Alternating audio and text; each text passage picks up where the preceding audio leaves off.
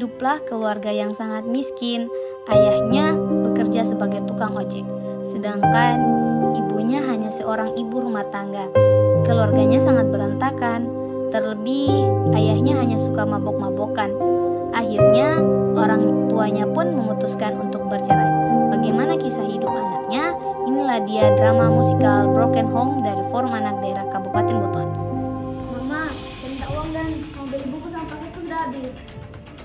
terus, uang terus. Saya sudah tidak punya uang. Sudah pakai buat beli beras, bayar listrik, belum utang-utang kita. Minta di bapakmu sana. Apa? Dari saya? Semua uang sudah kamu ambil. Uang yang mana? Semua uang kan sudah kamu pakai buat beli rokok dan minumanmu. Kalau kayak gini terus saya capek. Mending kita bisa aja. Capek, hanya capek kerja banting tulang dari pagi sampai malam. Mending kita bisa. Kamu juga kerjaan minta uang, uang, uang terus.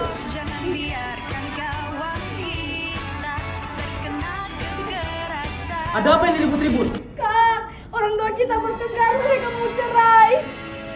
Bapak, Mama, kalau ada masalah, bicarakan baik-baik. Jangan egois seperti ini. Kalau kalian cerai, bagaimana kehidupan kami? Sudah cukup.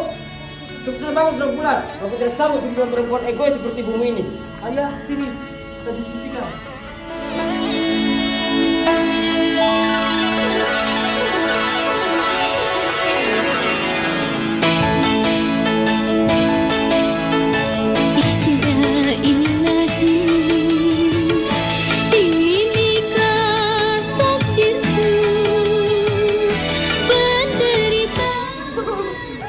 Ibu tolong? Ibu, ibu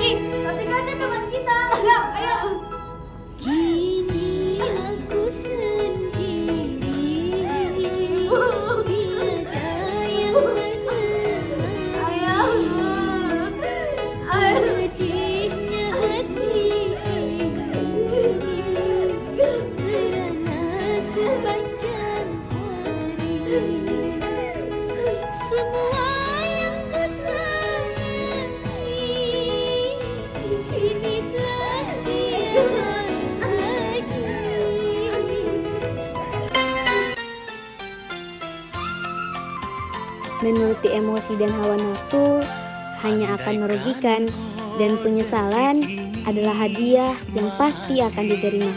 Hal itulah yang dirasakan oleh ayahnya. Ia sangat menyesal. Namun, semua penyesalan tak ada artinya. Kini, keluarga mereka sudah tak bisa bersama lagi. Kenapa kamu tidak pernah pergi sekolah? Saya mau pergi sekolah saja. Orang tua saya sudah bercerai. Saya malu kalau pergi sekolah. Jangan jadikan alasan orang tua bercerai, kau putus sekolah. Kamu itu pintar, kamu itu berbakat, harus sekolah. Saya tidak mau, saya malu. Kalian tahu rasanya. Mending kalian pergi saja. Tinggalkan saya sendiri. Sudah, kita tidak akan kamu lagi. Ayo, kita pergi. Tapi dia teman kita. Roman, ayo. and your bright eyes were together in this love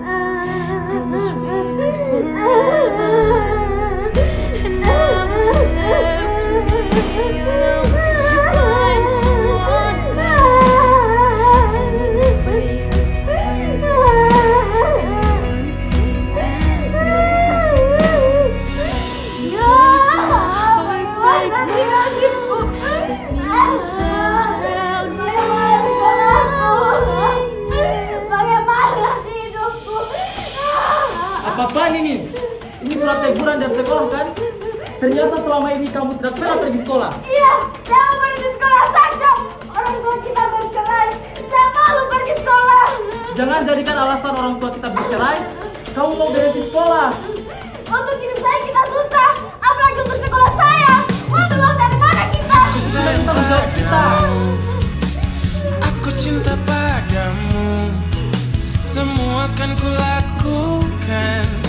demi kebahagiaanmu tak pernah ku keluhkan. Walau rintangan menghadang panas hujan begini makanan sehari-hari.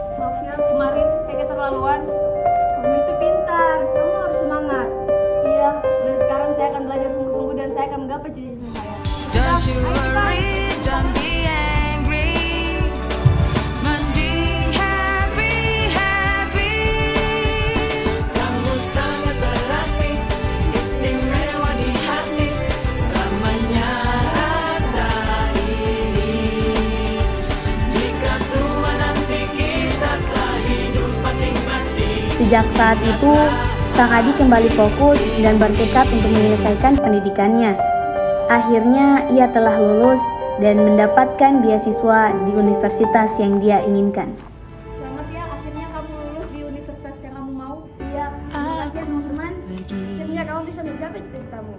Bukan berarti tak setia Aku pergi Udah, udah. Demi untuk cita Maaf bila Mungkin kita harus terpisah.